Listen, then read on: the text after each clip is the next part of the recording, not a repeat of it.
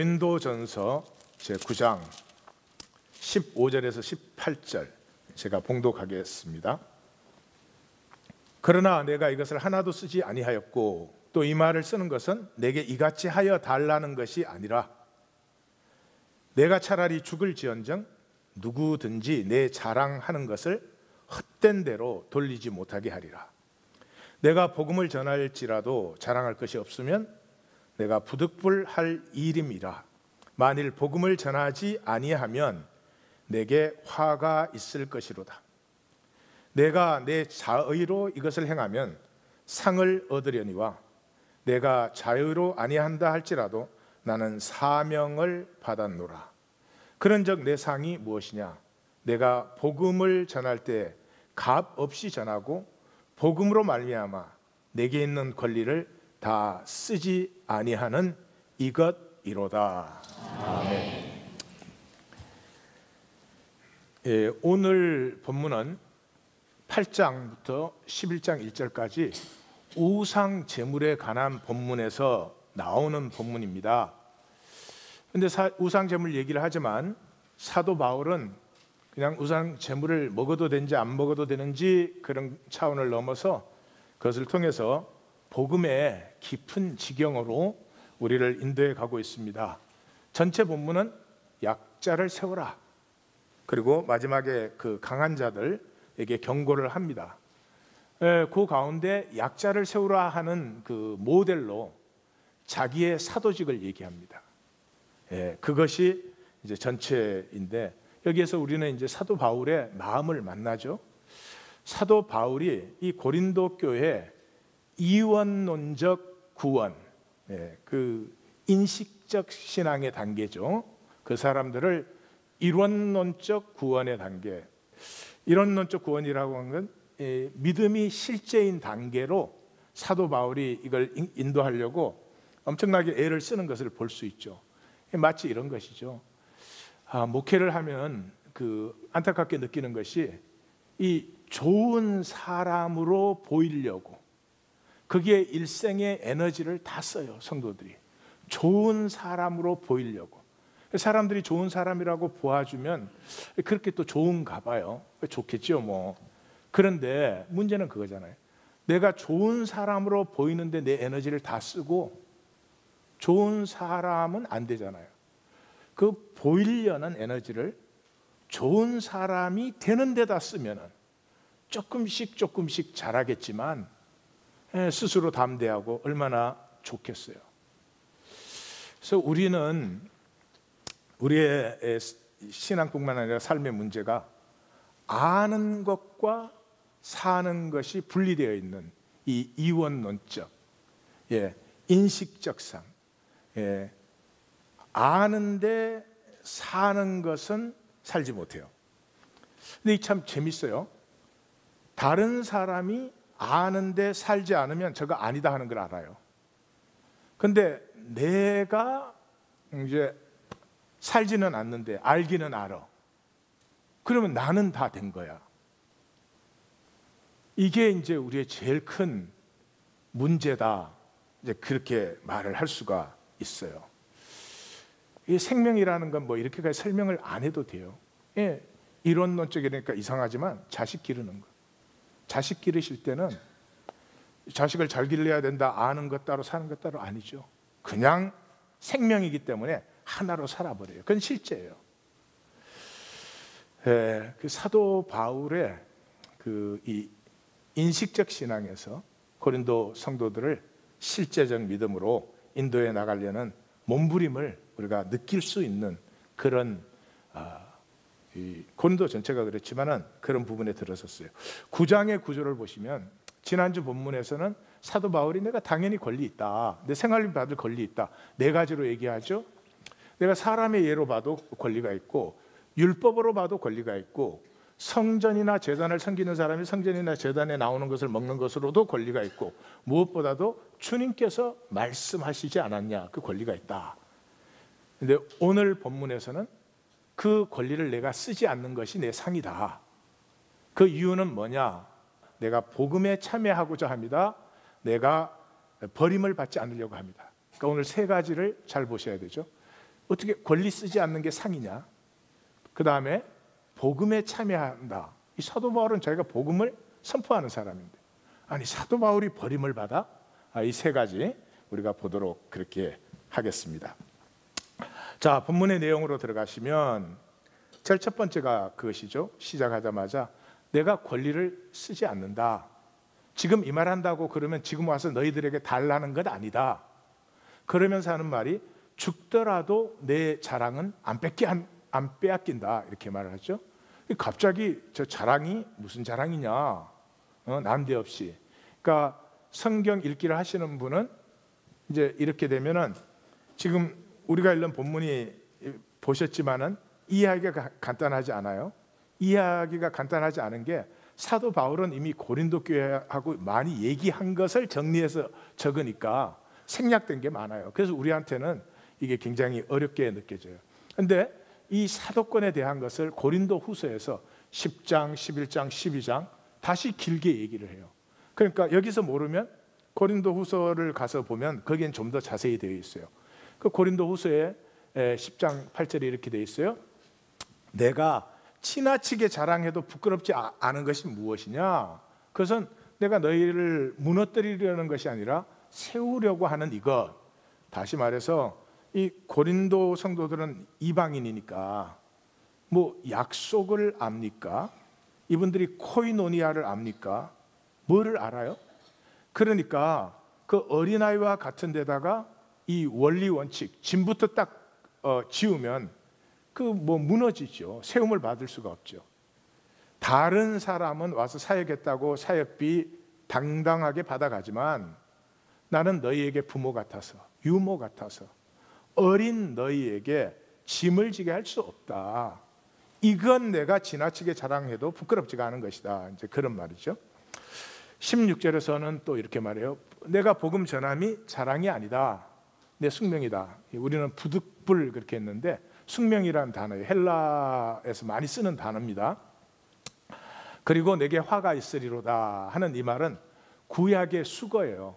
예, 선지자들이 그 부르심을 받았을 때 나로다 화 화가 있도다 뭐 부정한 백성 중에 있으면서 어, 또 내가 이것을 전하지 않으면 내게 화가 있다 예레미야 뭐 이렇게 그 구약의 선지적인 수거입니다. 그러니까 부르심을 받은 그러니까 이게 무슨 말이냐 그러면 복음 전하는 게 자랑 아니지. 예. 내 내가 그렇게 부르심을 받았으니까. 그러니까 이학권이가 이렇게 말씀을 전하도록 부르심을 받았어. 그 내가 충성되이 말씀을 전해. 그건 당연히 할 일이지. 그게 무슨 뭐 자랑할 일이 아니죠. 자랑할 일이 아니.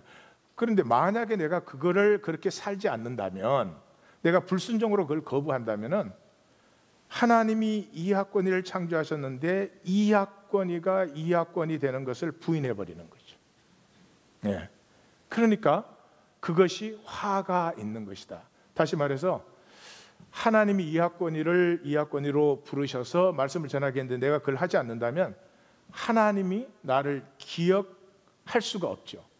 예, 구약에서는 아니, 성경 전체 신약도 마찬가지입니다. 내가 존재한다는 것은 하나님 나를 기억한다는 뜻이에요. 그래서 구약의 단어 요나가 그 물고기 뱃속에 들어서 하나님 나를 기억하옵소서 그러잖아요. 그 기억해 달라는 말이 나를 구원해 달라, 나를 생명과 존재로 회복시켜 달라 어, 그런 거예요.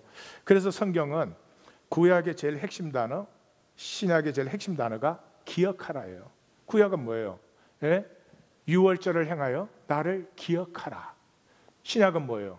떡과 잔을 나누면서 이것을 행하여 나를 기억하라. 기억이 어, 상식적인 얘기죠. A라는 사람이 있어. A라는 사람을 난 더 이상 기억 못해. 그럼 그 사람은 나에게 존재합니까? 안 합니까? 존재 안 하는 거죠. 그래서 하나님이 기억하시는 바가 돼야 돼요. 하나님이 기억하시는 바가 돼야 되기 때문에 그래서 예수님이 어, 산상수훈 제일 결론에서 내가 너희를 도무지 알지 못한다 할 때 예수님 표현이 아니고 성경적인 표현이에요. 예. 뭐 종교 생활을 뭐 뻑격지근하게 한 사람들 아니에요. 귀신 쫓고 뭐 선지자 노릇하고 뭐 예, 그런 사람들을 내가 너희를 도무지 기억하지 못한다. 그 말은 뭐냐 그러면 하나님이 기억하실 삶이 전혀 없는 거죠.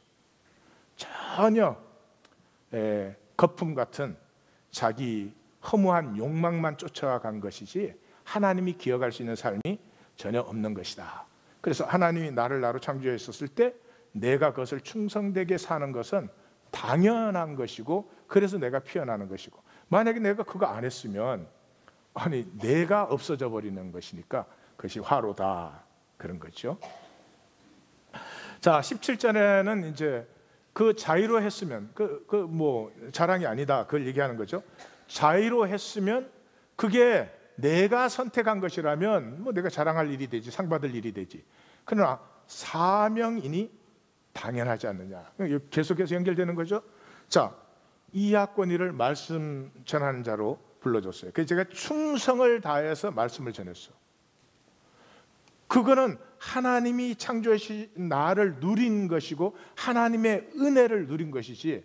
아니 내가 아, 말씀 전달하고 불렀는데 말씀 충성되게 전했다고 상 달라 그래요? 그건 웃기는 얘기죠. 그건 웃기는 얘기지. 예. 사과 나무가 사과 열매 맺었다고 상 달라고 합니까? 인간만 이상해요. 제가 이런 말 하면 좀 이상하게 느껴지는 게 인간만 이미 좀 이상해져 있어요. 예. 그래서 여기서 벌써 성경을 읽는 분들은 무익한 종의 예수님 말씀이 생각나야 돼요. 종이 부름 받았으면 예, 준비하는 게 당연하고 준비됐으면 썰브하는 게 당연하고 그러면 주인이 다 어, 식사할 때까지 기다렸다가 정리하는 게 당연한 것이지 그거 했다고 내가 상 달라고 그러면 이상한 거죠. 그죠? 그래서 상이라고 하는 것은 내가 당연히 할 것을 해서는 상이 아니고 그 이상을 가야 되는데 내 상은 뭐냐? 내가 이것을 하면서 권리를 당연히 쓸 수 있는데 그 권리를 쓰지 않은 것이다. 자, 이제 여기에서 이렇게 이해하시면 안 돼요. 자, 내가 당연한 권리 안 썼으니까 하나님 나 상 줘요. 이런 얘기가 아니에요. 엄청나게 깊은 얘기예요. 예, 그건 정리에 가서 볼 거예요. 자, 두 번째 단락은 내가 복음에 참여하고자 하는 것이거든요. 그 시작을 그렇게 합니다. 내가 자유로우나 어, 모든 사람이 종이 됐다. 내가 자유로우면 가치가 가능해진 것이에요. 내가 예수 그리스도로 자유해졌다면 이제 내가 가치를 창조할 수도 있고 가치를 파괴할 수도 있다. 그것이 나에게 주어졌다. 내가 아, 예수로 자유로워지면 자동적으로 가치가 창조되는 것 아니다. 창조해야 창조된다. 예. 그래서 사도 바울은 자기가 종이 됨으로 가치를 창조하기 시작했다. 그래서 이렇게 말합니다. 내가 유대인에게는 유대인이 되었고 개종자들에게는 개종자. 성경 성경의 표현으로는 율법 아래 있는 자. 이건 개종자를 말하는 것입니다. 그 다음에 이방인에게는 율법이 없는 자, 이방인에게는 이방인이 되었다. 우리 번역에는 이제 같이 된 것 그렇게 했는데 사실은 그냥 유대인이 되었다. 이게 훨씬 더 어, 좋은 번역입니다. 자, 그렇게 해서 내가 여러 모습이 된 것은 몇 사람이라도 구원하고자. 내가 약한 자에게 결론은 여기 있죠. 앞에 세 가지를 말한 이유는 사도 바울의 그 본심은 여기 있다. 내가 약한 자가 된 것은 약한 자들을 어, 얻고자 함인데 이렇게 내가 여러 모습 되는 것은 몇 사람이라도 구원하고자 예, 여기에 성도님들은 좀 귀를 기울여 들으세요. 예, 왜냐 그러면 구원의 희귀성 이건 창세기에서 요한 계시록까지 계속 나타납니다. 어디에도 그냥 구원이라는 게 아무나 막 숫자 채우려고 끌어들이는 것이 아니다. 성경에는 한 번도 구원이 대중적이 아닙니다. 아주 희귀합니다. 그래서 역대하 16장 9절을 보시면 역대기는 나라가 멸망한 다음에 왜 우리가 멸망을 당했지라고 돌아보면서 쓴 책입니다. 근데 거기에서 뭐라고 되어 있느냐 그러면 여호와의 눈은 온 땅을 두루 감찰하여 이렇게 되어 있어요. 하나님은 안 봐도 아시는데 왜 온 땅을 두루 감찰하실까요? 누가 좋나 보려고. 그러니까 그만큼 이 땅에 하나님이 찾는 사람이 없다는 거죠. 근데 도대체 뭐가 없다는 거냐? 전심을 다하여 자기를 향하는 자가 없다는 거죠. 전심을 다하여. 벌써 여기서 보시면 성경 읽을 줄 아는 사람은 이 신명기 얘기하잖아요. 마음을 다하여, 성품을 다하여, 힘을 다하여. 근데 다하여 찾는 사람이 없어요. 생각은 하나님 섬겨. 삶은 다른 것을 섬겨. 이런 논적이 아니야. 이거 예수님이 표현하신 것은 뭐예요? 영과 진리로 예배하는 자. 하나님이 찾는 사람은 영과 진리로 예배하는 자. 영과 진리라는 말은 굉장히 추상적이에요. 근데 간단한 의미죠. 육과 거짓으로 예배하지 않는 자. 그럼 사람이 하나님 앞에 예배하는데 왜 거짓으로 예배를 하겠어요? 간단하죠. 거짓하려는 게 아니고 마음은 예배를 해. 생각은. 근데 삶은 아니지. 이 이원론적. 그래서 신약이나 구약이나 우리 모든 하나님의 백성들에게 결국은 가장 중요한 도전이고 여기에서 대부분이 다 떠내려 가버리는 것입니다.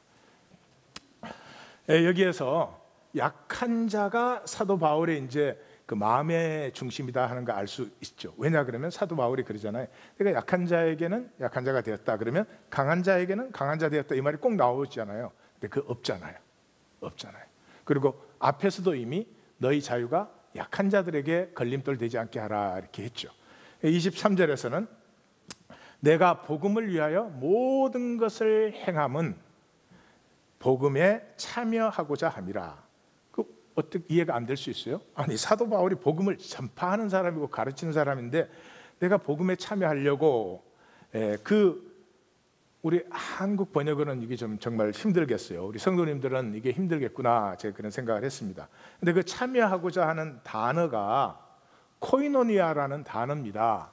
그래서 복음의 교제 안에 나도 교제하려 합니다. 이제 이렇게 얘기를 하는 거죠. 그 영어 성경에서는 I might be partaker thereof with you 이렇게 되어 있어요. 그래서 여기 그 참여하고자 partaker 이 말이 수코노나스 그런다. 수코노나스 수 함께라는 접, 접 접두어가 붙어서 그렇지 뒤에는 코이노니아예요. 그러니까 사도 바울이 뭐라고 해요? 내가 너희를 코이노니아로 인도하는데 코이노니아는 생명이 통하는 것이죠. 그 코이노니아에 나도 참여해야 돼. 이, 이 팔티큐라라는 이 코이노 어, 수코노나스 하는 단어는 사실은 신약에 몇 번 안 써졌습니다. 그렇지만 아주 중요한 의미를 갖고 있어요. 로마서 11장 17절에 이방인이 유대인에게 접붙은 것을 돌감나무인 내가 그들 중에 접붙임이 되어서 그러니까 수코노나스 하는 건 생명이 통하기 시작한 거죠. 생명이 하나 된 것을 얘기하고 있습니다. 빌립보서 1장 7절에는 이는 너희가 내 마음에 있으며 내 메인과 복음 전파에 다 너희가 함께 은혜에 참여한 자가 되었다 이렇게 얘기하죠. 그 사도 바울이 이 빌립보서를 쓰면서 인사에서 쓰는 말인데 아시죠? 인사를 시작하자마자 너희를 생각할 때마다 하나님께 감사하며 그러면서 첫날부터 빌립보는 루디아를 만나서 시작됐잖아요. 그러니까 유대인과 개종자들로 시작된 교회예요. 그러니까 빌립보 교회는 처음부터 코이노니아가 이루어졌습니다. 그래서 이 빌립보 교회의 코이노니아가 예루살렘 교회도 생겼죠. 사도 바울의 로마로 가는 것, 로마의 선교를 섬겼죠. 그러니까 이 빌립보 교회를 생각 그 편지를 보시면 아, 빌립보 교회 자체가 뭐 감사해서 쓴 거예요. 그 감사라는 단어가 무지하게 많이 나오는데 너희가 첫날부터 이 복음을 위한 코이노이아에 참여했다 이렇게 말을 해요. 그러면서 너희가 항상 내 마음에 있는 것은 너희가 나와 함께 은혜에 참여한 자가 되었다. 그러니까 고린도 교회와 빌립보 교회는 이게 하늘의 땅 차이죠. 빌립보 교회는 지금 참여함에 들어가게 하려고 지금 이제 사도 바울이 사역을 하는 것이고 빌리보 교회는 그 참여함 때문에 피어나는 열매 때문에 한없는 감사를 드리는 거죠. 제일 마지막에 써진 것이 계시록에 써져 있습니다. 계시록에서 나 요한은 너희 형제요 예수의 한남과 나라와 참음에 동참하는 자라. 예수의 그 고난에 내가 동참한다. 이 말을 쓰면서 그때 성도들이 다 박해 아래 있을 때니까 너희의 고난에 나도 함께 참여하고 있다 하는 이 생명의 하나됨을 얘기할 때 쓰는 것입니다. 예, 그래서 하나님의 나라는 함께 짐을 지는 것이죠. 뭐 두말할 것도 없죠. 가족은 함께 짐을 지잖아요, 그죠? 예, 그래서 갈라디아서에서 사도 바울은 총 결론에서 뭐를 얘기합니까? 서로 짐을 지라. 만일 누가 아무것도 되지 못하고 된 줄로 생각하면 스스로 속입니다. 내가 안 됐는데 된 줄로 생각하면 뭐라고요? 스스로, 네, 스스로 속이는 거예요. 그러니까 서로의 짐을 지기 위해서는 먼저 각자의 짐을 지라. 그러니까 갈, 갈라디아 교회도 뭐 다 역시 우리 수준은 비슷한 것 같아요. 왜냐 서로 짐을 지라 그러니까 자기 짐을 안 지면서 너 내짐져 이러는 사람이 예, 있을까봐. 그러니까 하나님이 이학권이가 21세기에 살 줄을 아신 거야. 그래서 각자 짐을 먼저 지라 이제 그렇게. 그 다음에 여러분 생명은 뭘로 통해요? 물질로 통해요. 물질로 통해요. 자, 하나님이 이학권이를 창조하시는데 이 학권이를 창조하셔서 이 학권이를 하나님이 완성시켜 버리면 나는 로봇이지 아무것도 아니죠. 하나님이 나에게 생명 씨앗을 주시고 이 생명을 내가 피워내야 되는데 이걸 내가 피워낼 때 나의 생명력, 생명 권세, 생명 권이 되는 것인데 그 봐 권자는 좋은 데 들어가요. 생명권이 피어나는 것인데 그걸 내가 하나님의 생명을 피워낼 수 있는 상황을 만들려니까 이렇게 현상 세계를 만들어서 물질적인 나로 만드심으로 말미암아 이 물질 사용을 통해서 내 생명이 피어나게 하신 것이다. 예. 자, 물질로 어, 통하게 되어 있습니다. 그래서 사도 바울이 고린도 전서의 가장 마지막 질문, 고린도 교회 질문이 연보는 어떻게 합니까 하는 것이죠. 거기에 대해서 매주 첫날 주일이죠. 너희 각 사람이 수입에 따라 모아두어서 내가 갔을 때 연보를 하지 않게 하라 이렇게 했어요. 하나님께 드리는 연보는 수입이 들어왔을 때 제일 먼저 구분하는 것입니다. 거룩해요. 그래서 고린도 후서에서는 이것이 적게 심는 자는 적게 거두고 많이 심는 자는 많이 거둔다 하는 말이다. 그래서 각각 마음에 정한 대로 할 것이요 인색함으로 억지로 하지 마라. 하나님은 절겨내는 자를 사랑하시는 이 참 번역이 좋지 않은 번역입니다. 하나님이 기뻐하시는 건 자원하는 심령이에요. 예, 하나님이 제게 주신 생명이 내 안에서 피어나는 유일한 길은 내가 자원함이에요. 내가 충성을 다하는데도 억지로 해. 그건 내 생명이 피어나는 게 아니죠. 내 생명은 자꾸 더 억눌리는 것이죠. 예, 그래서 하는 것이죠. 그래서 이것을 가르는 것이 이제 양심의 문제입니다. 사도 바울이 이미 얘기한. 그래서 양심이 약하여질수록 권리 주장이 강해져요. 양심이 강해질수록 빚진 자가 돼요. 그러니까 양심이 강한 남편은 무슨 얘기를 많이 할까요? 어? 아니, 지가 고생한 얘기 많이 하지. 예. 예. 내가 얼마나 고생하고 열심히 일하냐 이런 얘기를 많이 하죠. 그 양심이 강한 남편은 뭔 얘기를 할까요? 예, 아내한테 빚진 심령이 되는 거죠. 그렇죠. 그러니까 양심이 이 강한 자들, 고린도 교회 강한 자들은 양심이 약한 자들이죠. 약하고 더러워진 자들이죠. 탕자의 심령이 돼. 아버지한테 와가지고 내 거 내놓으라는 거죠. 이 to take밖에 못. to take. 이 사람은 뭘 to give는 손해 보는 건 줄 알아요. 인생에. 여러분 잘 생각해 보세요. to take밖에 모르고 to give는 손해라고 생각하는 사람. 그 사람의 인생의 그릇이 커질까 작아질까? 두말할 것도 없죠. 그래서 양심이 강해질수록 빚진 자가 되죠. 아버지의 심령. 아버지가 거부할 수 있죠. 근데 아들을 거부하지 못해서 그렇게 되는 거죠. 사도 바울이 그 에베소 교회 목회를 3년 합니다. 그러니까 지금 제가 생각을 해보면 그런 것 같아요.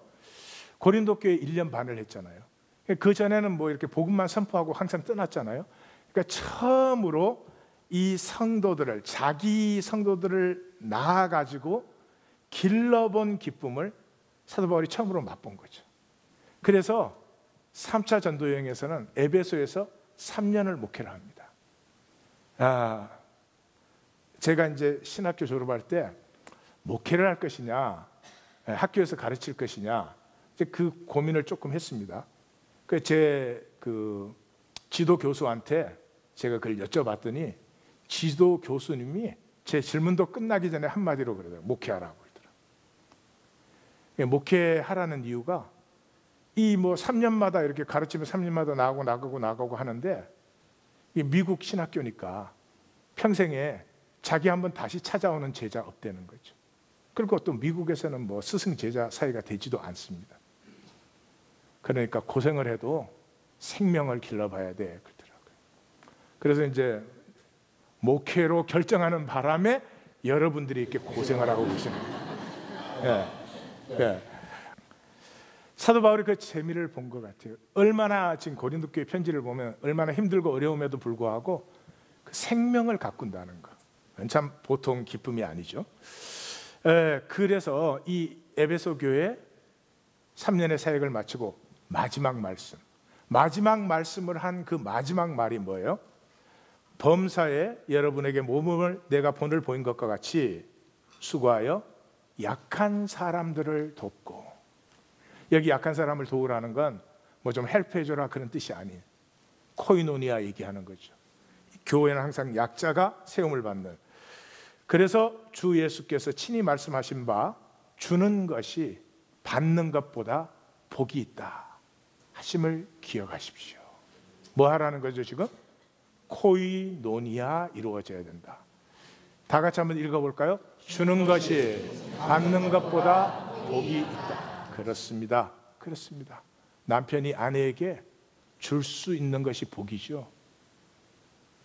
받아야 됩니까? 절대로 아닙니다. 세상은 속이니까 네, 조심을 하십시오. 그래서 사도 바울은 사람의 권리, 내가 권리 뭐 주장할 수 있지. 그렇지만 그건 하나님 나라 상에 비하면 배설물이지. 예. 사랑하는 성도님들 조심하시되 사람의 이론 네, 조심하십시오. 우리가 아는데 살지 않는 그 중간에 뭐가 있어요? 이론이 있어요. 이론. 내 이론으로 나를 정당화 시킬 수 없는 것이 있습니까? 없어요. 내 이론에 나는 항상 정당하지. 이론이 삶이 되지 않습니다. 이론으로 사셔서 생명이 장성해지면 얼마든지 하시라고 하겠는데 아닙니다. 사랑하는 성도님들, 정말 제 모든 진심으로 부탁드리는데 내 생각 이론은 십자가 앞에 내려놓으시고 십자가의 본을 보시고 바울의 본을 사시십시오. 네, 그러셔야죠. 네. 세 번째 단락은 내 절제는 버림받지 않으려고 하는 것이다 하는 것이죠. 어, 이스트미안 고린도에서 제일 누구나 아는 이스트미안 음, 제전에 예를 드는 거죠. 경주의 승자는 하나뿐이지 않느냐. 그렇게 달려야 된다. 그러니까 여기서도 구원의 희귀성을 만나죠. 썩는 상에도 우리가 절제를 하는데 우리는 썩지 않는 것을 위해서 한다. 그게 바울의 표현이 아니다. 이게 성경적인 것이다 하는 거 알죠. 왜냐 그러면 사도행전 2장에 성령이 임하고 나서 사도 베드로가 그 복음을 그 선포할 때 그러잖아요. 거기는 이제 말을 약간씩 바꾸죠. 예수님 닮아서 구하라 찾으라 두드리라 이런 식으로 엄부에 버리지 않는다. 썩임을 당하지 않는다. 생명의 길로 우리를 여셨다, 인도하신다. 이게 똑같은 얘기죠. 사도 바울은 자기가 사도가 된 첫 사역지 비시디아 안디옥에서 그 복음을 전할 때 전문이 사도행전에 실려 있죠. 거기에 가장 핵심 부분에서 세 번을 강조하죠. 썩음을 당치 않게 하셨다. 썩음을 당치 않게 하셨다. 썩음을 당치 않게 하셨다. 그래서 사도 바울이 나는 허물을 향해 달리고 허물을 향해 싸우는 것이 아니다. 그래서 이 마지막 기절에서 내가 내 몸을 쳐서 복종케 하면 내가 남에게 전파한 후에 도리어 버림을 당할까 합니다. 이렇게 이제 얘기를 합니다. 예, 버림을 당할까 하는 이 단어가 어다키마스 그런 단어예요. 어다키마스. 어다키마스라고 단어인데 예, 제 생각에는 굉장히 중요한 단어입니다. 신약에 딱 일곱 번 나옵니다. 근데 이 일곱 번은 우리가 다 이렇게 기억하고 있어야 될 그런 단어예요. 그이 다키마스가 disqualified 아니면 not standing the test. 그러니까 이 사람이 1등을 해서 월계관을 받았어요. 월계관을 받았는데 약물 검사를 했더니 약물 검사에 걸린 거예요. 그러면 월계관을 빼앗기는 거죠. 그걸 얘기하는 거죠. 그걸 얘기하는 거예요. 그 어다키나스 그러는 거죠. 다 같이 한번 어다키나스. 예. 자, 그거를 이제 제일 먼저 쓰는 데가 로마서 1장 28절이에요.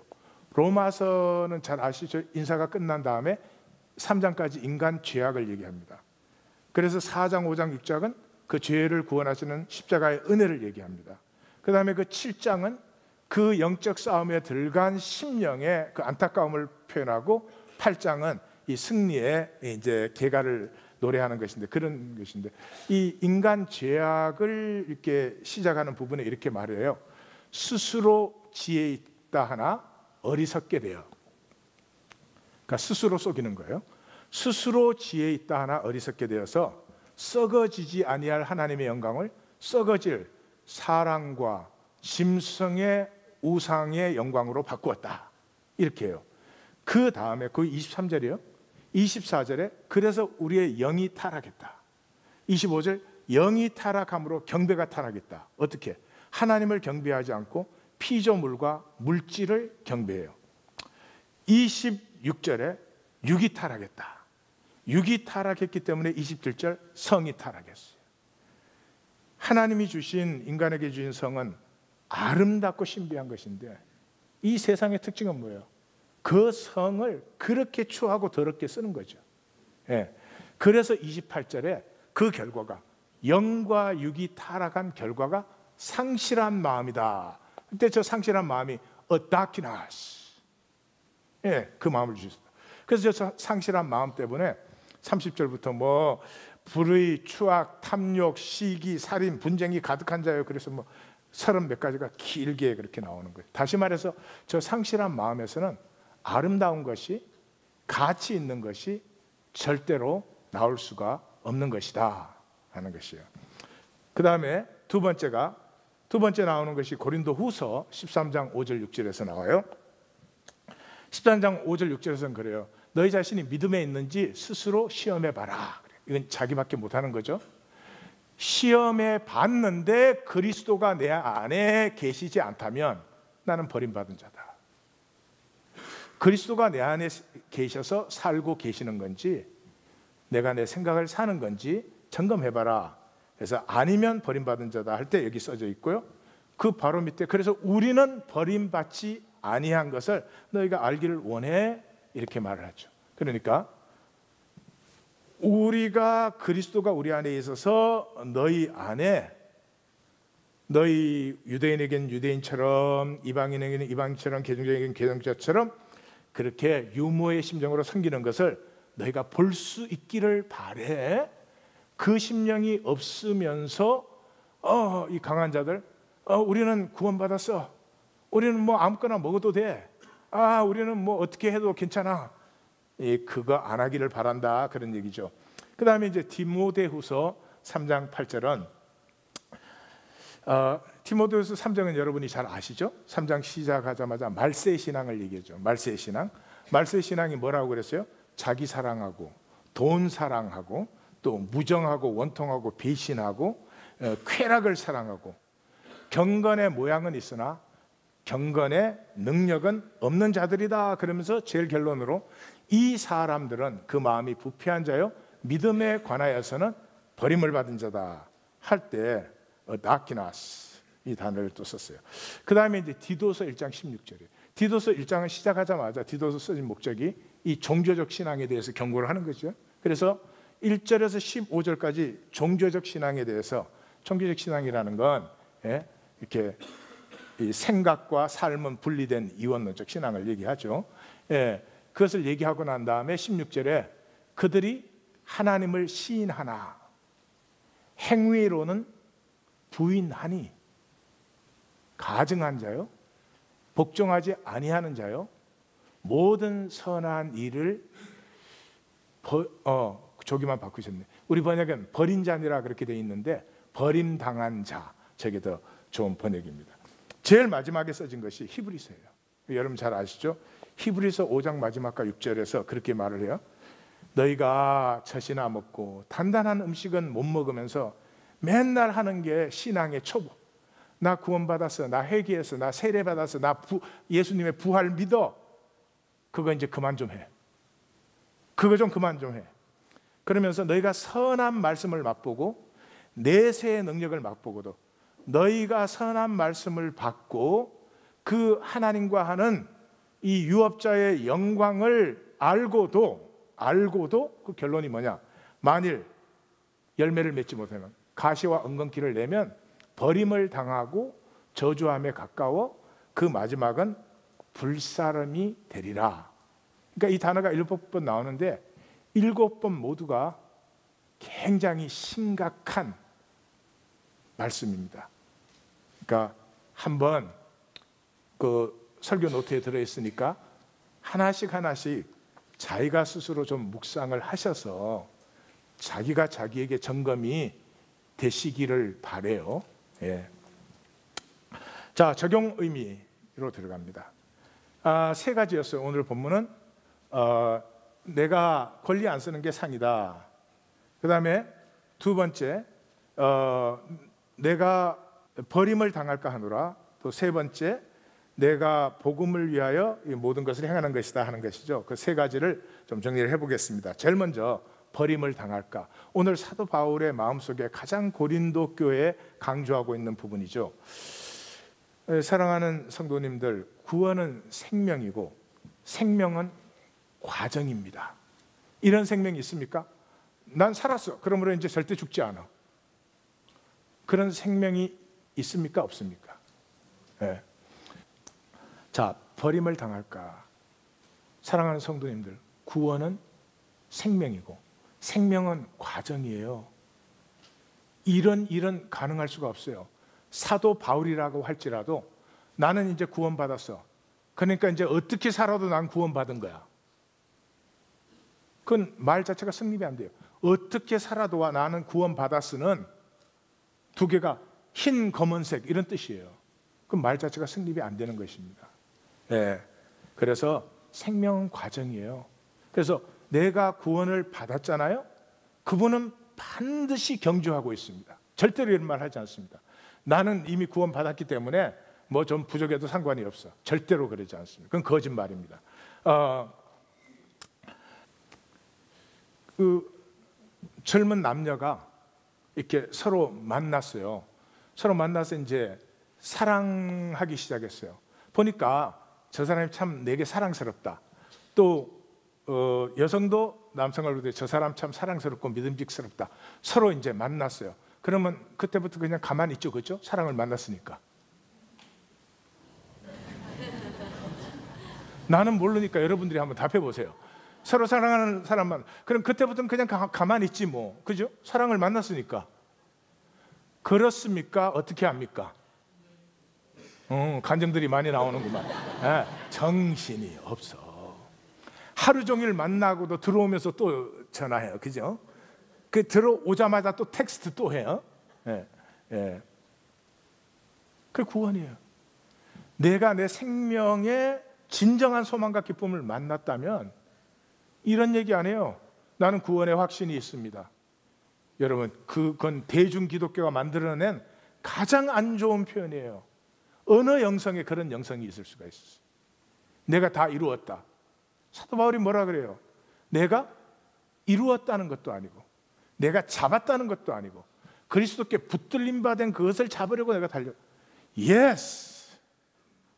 내가 하나님 안에서 내가 하나님을 만나고 왜 내가 창조되었는지를 알기 시작하고 하나님의 사랑이 내 가슴에 느껴지면 그때부터 경주가 시작되지.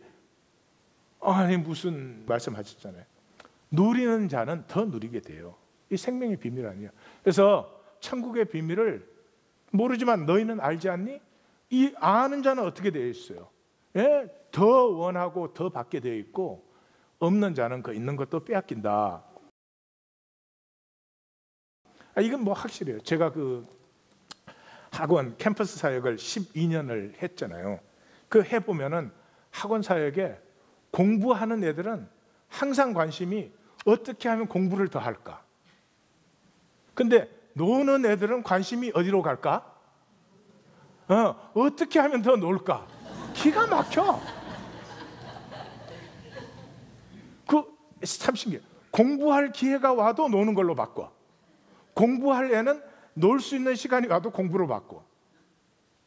아, 걱정은 양쪽 다 되는데. 네, 그렇다 이런 거지. 두 번째 하나님의 상 음, 권리를 쓰지 않는 것이 예, 내게 상이다 그랬죠. 이것을 아까 제가 그랬죠. 내 권리 쓰지 않았으니 나에게 상 주십시오. 이렇게 생각하면 굉장히 차원이 낮은 것이다.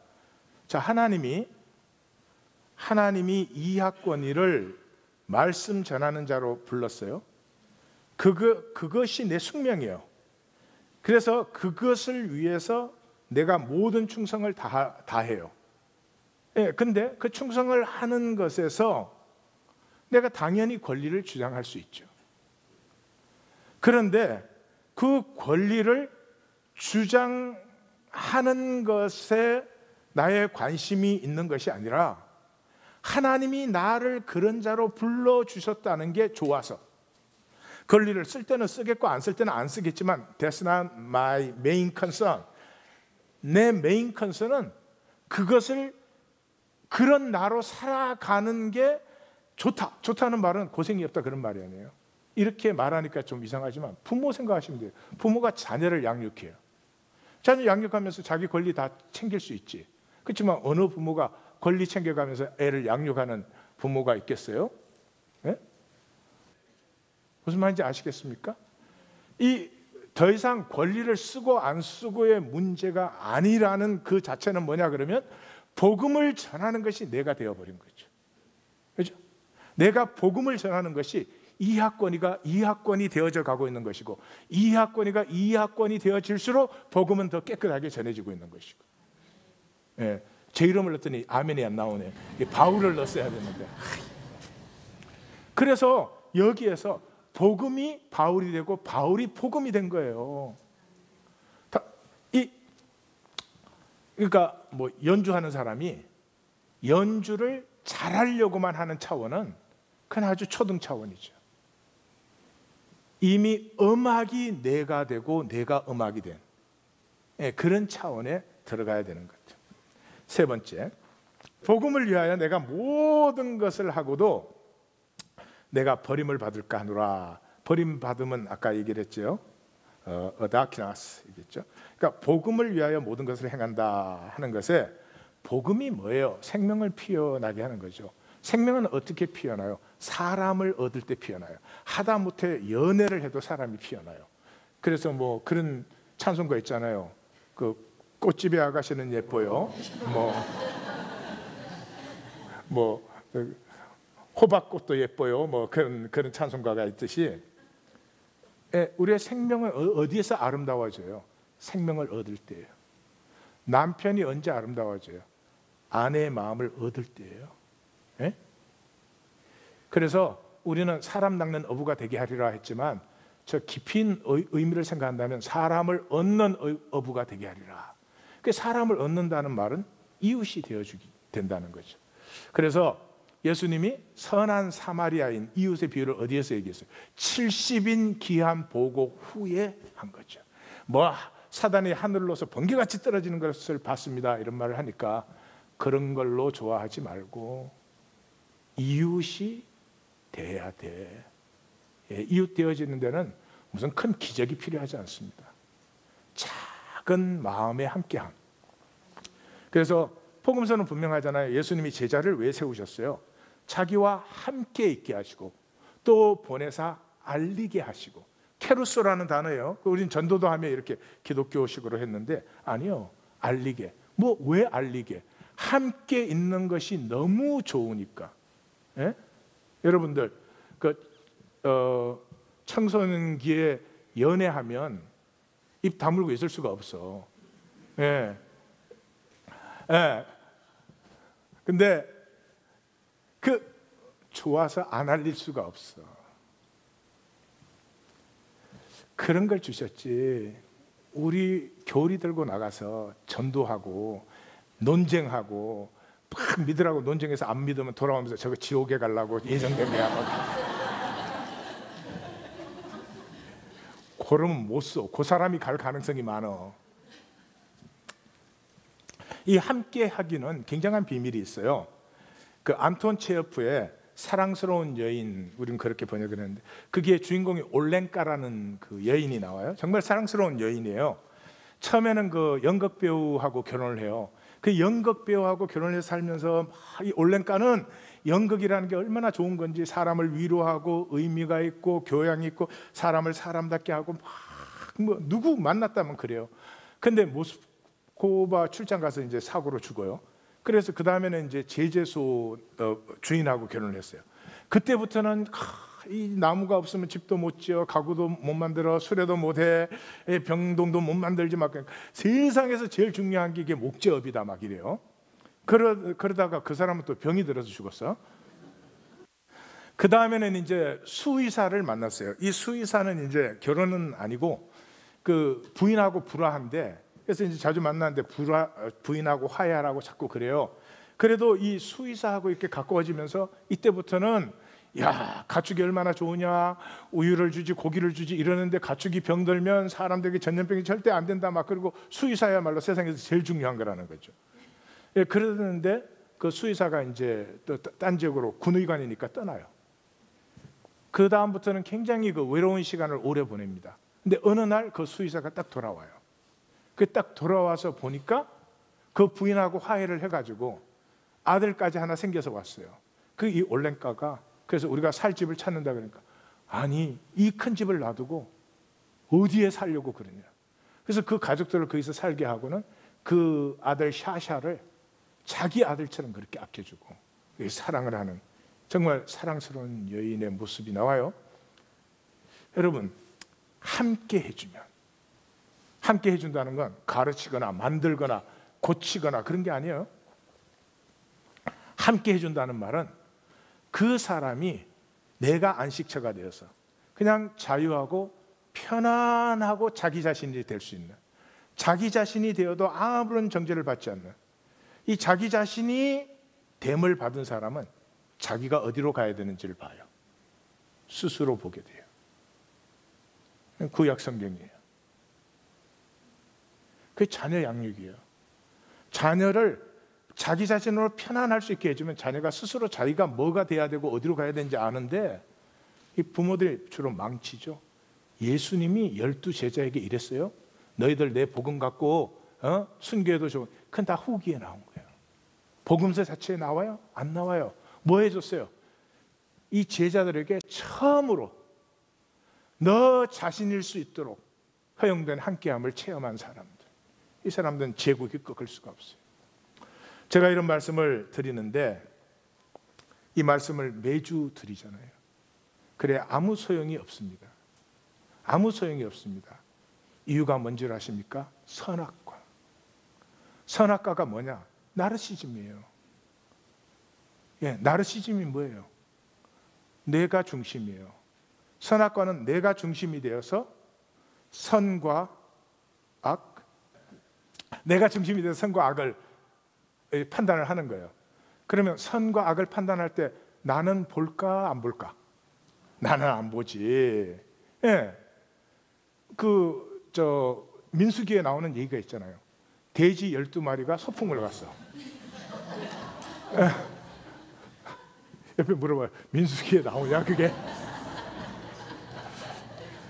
대답을 해줘요. 아니야 돈수기에 나온다. 열두 마리가 서풍을 갔는데 가서 아무리 세도 열한 마리야. 다시 세도 열한 마리야. 왜? 자기는 안 세니까. 이게 나르시즘이에요. 그 나르시즘이란 나는 예외야. 남은 살인하면 안 돼. 죄 지으면 안 돼. 당연히 안 돼. 그것만 안 될 뿐만 아니라 실수해도 안 돼. 허물이 있어도 안 돼.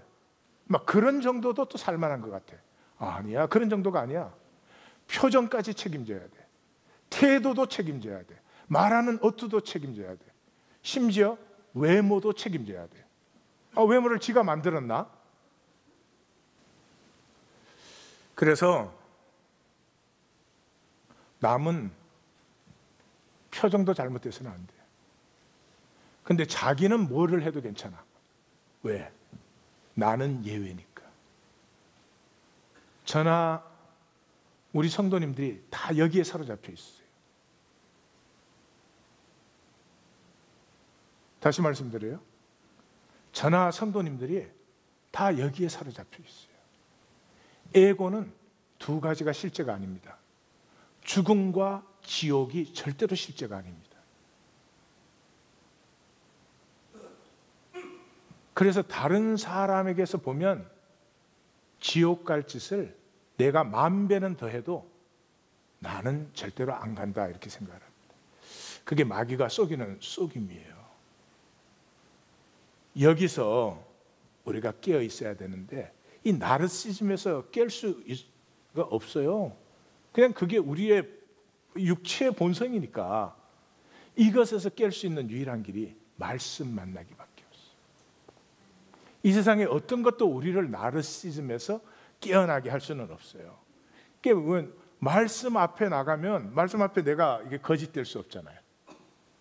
그게 종말적이 되는 거죠. 말씀 앞에 나가면 그냥 마지막에는 내가 주님 앞에서 나를 어떻게 뭐 각, 아, 꾸며요, 가꿔요, 뭐안 아, 안 되잖아요. 그래서 말씀 앞에 나갈 때가 종말적이고요. 내 자신이 돼야 되고 이 그럼으로 에고가 쓰러지는 유일한 자리예요. 그래서 우리가 고린도서를 시작할 때 그랬죠. 인사 끝나자마자 재림 신앙으로 시작한 이유가 그거예요. 내가 주님 앞에 나가 되면서부터 하나님이 나를 창조한 게 카리스 은혜인데 그 카리스가 카리스 카리스가 카리스마 카리스마가 됐다. 그러니까 카리스마 카리스마 저 사람 카리스마 있다. 그럼 뭐예요? 칼이 많이 있다. 예, 카리스마 있다. 그 말이 뭐예요?